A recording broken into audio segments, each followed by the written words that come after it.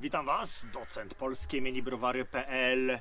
Końcówka maja, Boże Ciało, ksiądz nadaje z Dłutowskiego Kościoła. Niepowtarzalny klimat polskiej wsi. Tak oto zaczynamy edycję wiosenną. E, Nie wiem, czy będzie więcej niż ten jeden film. Mam nadzieję, że się uda. Natomiast e, tutaj widzicie e, wniosek to, co poprzednio y, mówiłem, że nastały czasy globalizacji, nie ma tego regionalizmu, jadąc do Dłutowa nie można wyhaczyć czegoś super specjalnego. Opieramy się właściwie na y, piwach dostępnych w Lidlu i słynnej promocji 4 plus 4. Y, jedynym ciekawym piwem butelkowym, oprócz Paulanera, którego z wiadomych względów nie będę testował, rzecz oczywista, y, są piwa Gościszewa, które nie piłem naprawdę lata, lata, lata. E, Więc fajnie e, sprawdzić, jak w 2024 roku e, sprawdza się Gościszewo, które określa się mianem najstarszego, inaczej, pierwszego prywatnego rzemieślniczego browaru w najnowszej historii Polski 1991. No słuchajcie, no to zobowiązuje, więc jeżeli mielimy się najstarszym rzemiosłem w Polsce, to i te piwa też powinny być jakościowe. A mamy na stole klasykę właściwie e, piwną, czyli pils i pszenica. Zaczynamy oczywiście od pilsa. Na niemieckich chmielach e, odmiany Hallertauer e, Mittelfrisch i Hersbrucker. Ciekawa sprawa, bo jest pasteryzowane, a nie filtrowane. Więc w ten sposób data przydatności e, 12 kwietnia 2025, więc rok. Dobra, jest foka, jest krosno i lejemy. Tak, widać, że niefiltrowane, jest opal, złote, biała piana, wygląda fajnie, bąbelki w szkle raźno unoszą się do góry.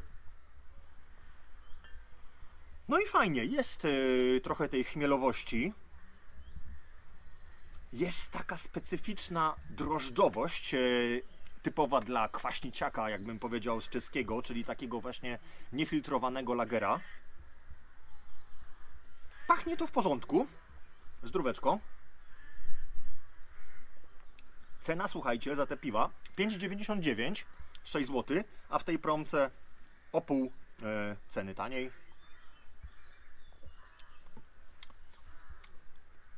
Jest lekka goryczka. Fajnie zostaje na podniebieniu, tak przez 2-3 sekundy. O, teraz nawet trochę bardziej, taka troszkę e, ziemista. Dobrze, że jest, bo chciałem powiedzieć, że to piwo takie bardziej w stylu e, lagera, tej goryczki za dużo nie ma i fajnie, ona już zeszła.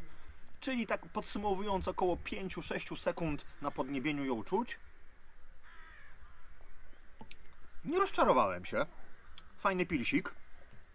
Może trochę nietypowy, tak? Bo spodziewałem się, znaczy inaczej. Po pilsie takim klasycznym spodziewamy się czystego profilu, prawda, yy, jasnej barwy. Natomiast tutaj ten brak filtracji powoduje, że mamy takiego właśnie trochę kwaśniciaka. Bardzo w porządku, dopiję z przyjemnością.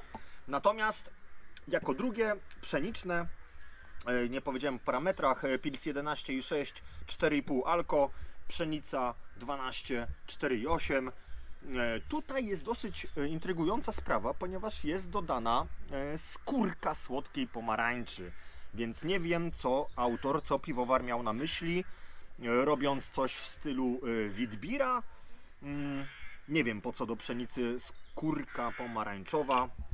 Zobaczmy, jak to w praktyce wyszło.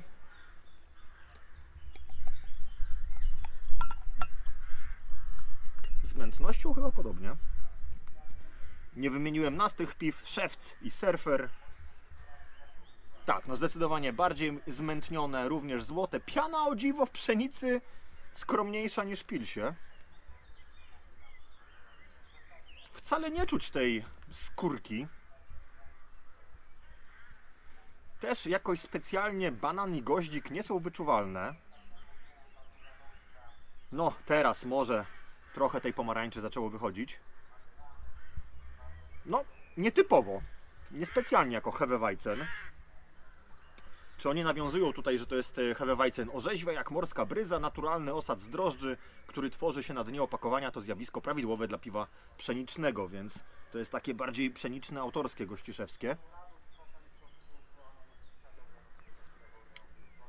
Nagazowanie dosyć średnie, to dziwne, bo nawet ten pils jest bardziej nagazowany, nasycony niż ta pszenica.